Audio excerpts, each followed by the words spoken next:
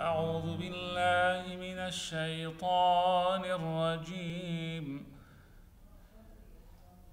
بسم الله الرحمن الرحيم The opening prayer of the Quran being seen as really the Lord's Prayer of Islam is something that if you shared that with a group of Christians in Middle America, they would probably fall over and need resuscitation.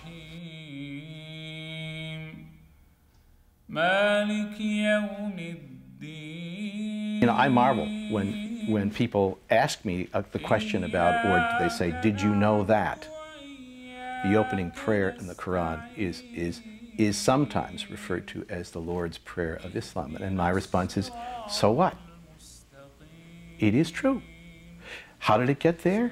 Common, common heritage, common linkages, common pieces of respectful dialogue and information sharing. Recognizing that we are connected. We do have a common source. There is one God.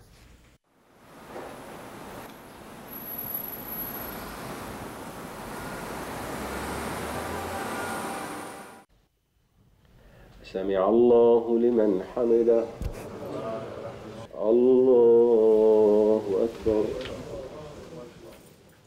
what Jesus came to teach, what Moses came to teach, is to love God. The whole idea of loving God with all of one's oh. heart and mind and soul and strength. I mean, when you look at this, this commandment to love the Lord your God with all of your heart and all of your mind and all of your soul and all of your strength. I mean, this is not, this is a very profound statement because we are instructed to love the Creator absolutely.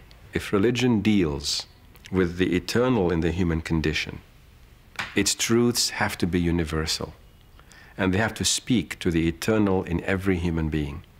The commonality is, in my mind, so overwhelmingly greater than that which separates the different communities.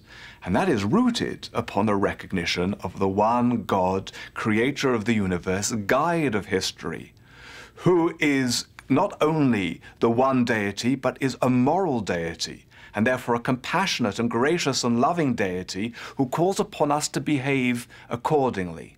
That is the common theme that unites Islam, Christianity, and Judaism together. And it's the overwhelming, overriding message of our common heritage.